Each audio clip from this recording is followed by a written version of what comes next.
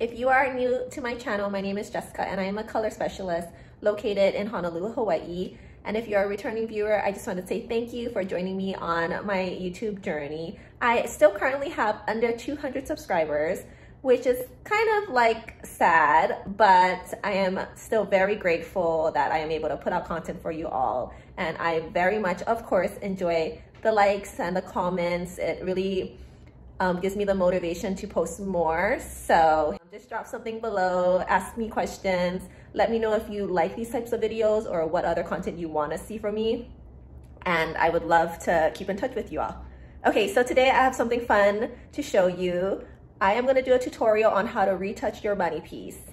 And if you don't know what a money piece is, it's pretty much these pieces right around the face. As you can see on me, it's like these pieces right here. So it brings a lot of brightness to the face and it really helps to kind of create a more beachier vibe to your color.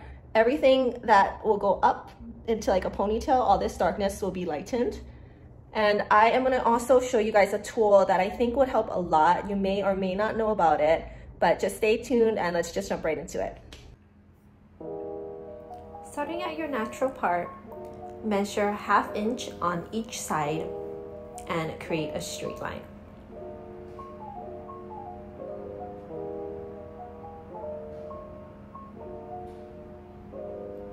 Have mixed up Schwarzkopf Blonde Me Bleach with 20 volume. Ratio I used was 1 to 1, which was equal parts bleach and developer. The consistency of your bleach should be thick and sticky. This will help the foil stay in place and prevent slippage. Take your time and make your sections clean. This step makes all the difference for great results.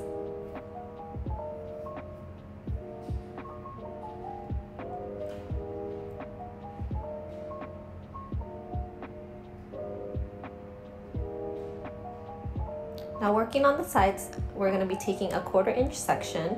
This 3D balayage comb is the most handy tool if doing highlights on your own. Grab the quarter inch section and place the hair in the comb and gently pull down.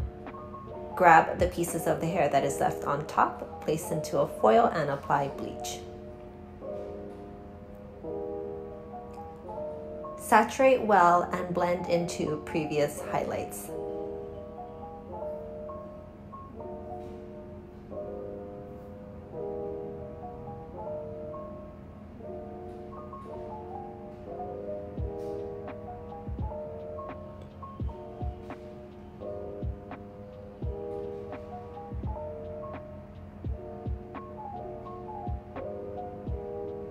Next, take another quarter inch section, but this time we will be doing a slice.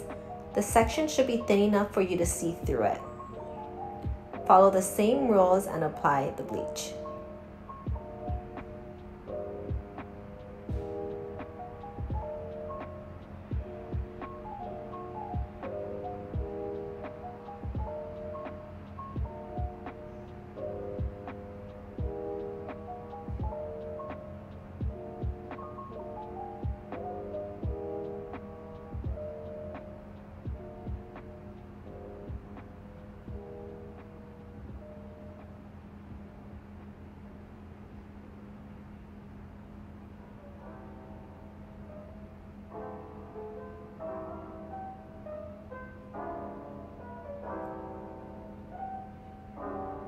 And now for our last section on the side, we are going to be mimicking the first foil that we did. So take another quarter inch section and grab your balayage comb to weave out the highlights.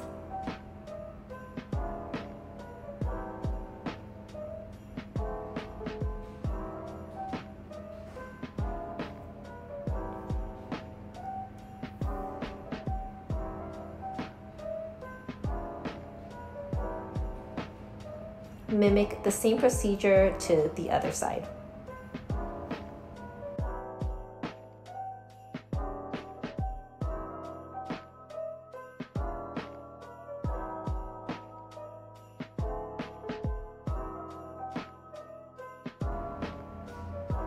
Now on to the top.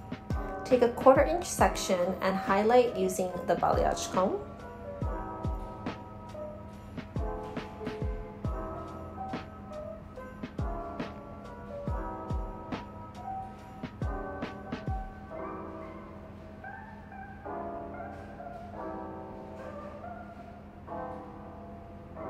Sometimes these pieces by our face can be extra fragile, so if you have a lot of lightning already, make sure to not overlap too much.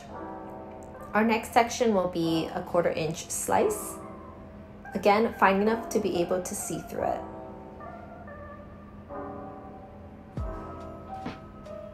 Make sure to saturate well as these are the pieces that you will see the most of when you take out your foils.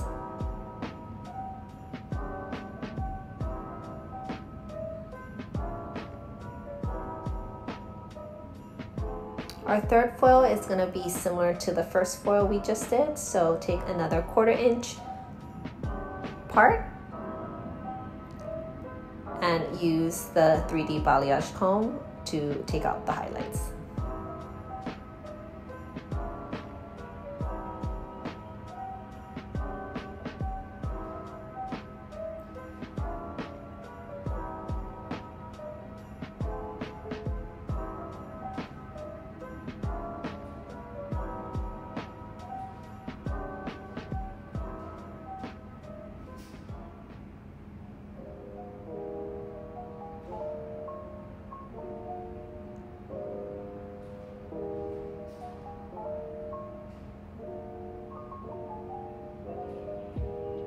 Then for our last foil, grab the hair that is left out and tease the whole thing.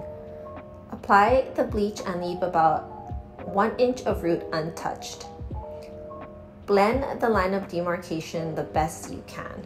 It is easiest to do when tilting the brush sideways.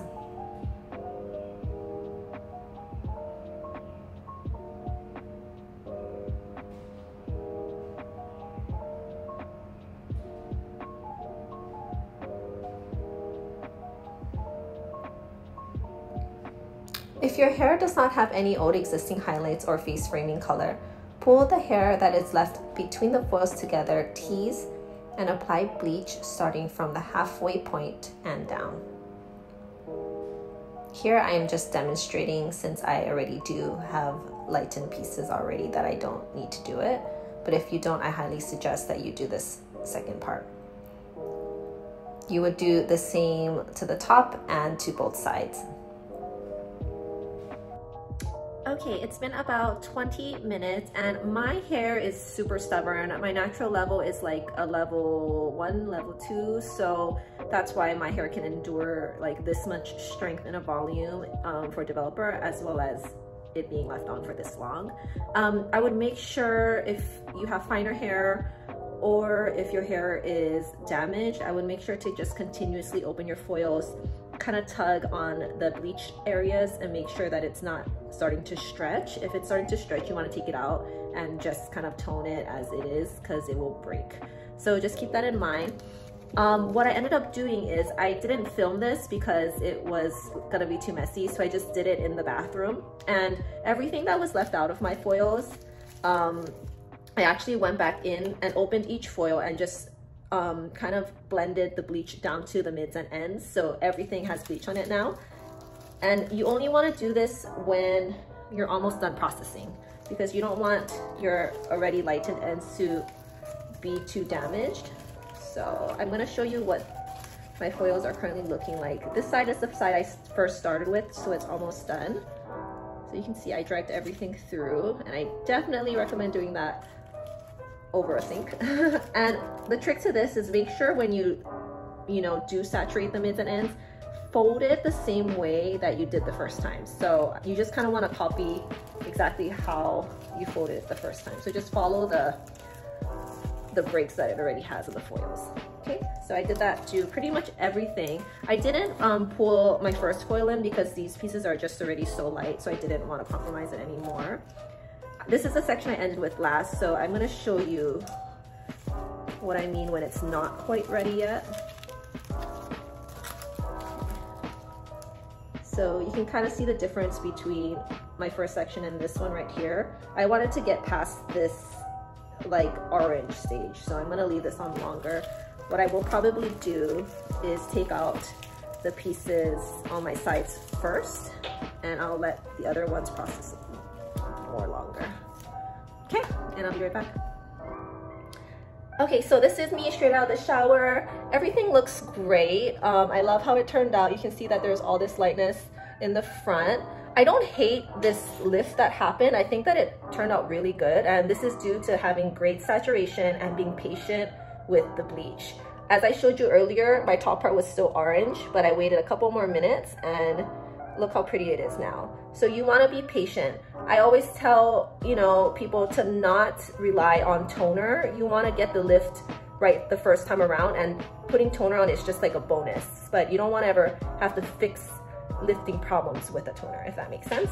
Um, so you could honestly just leave it here and enjoy your new fresh money piece.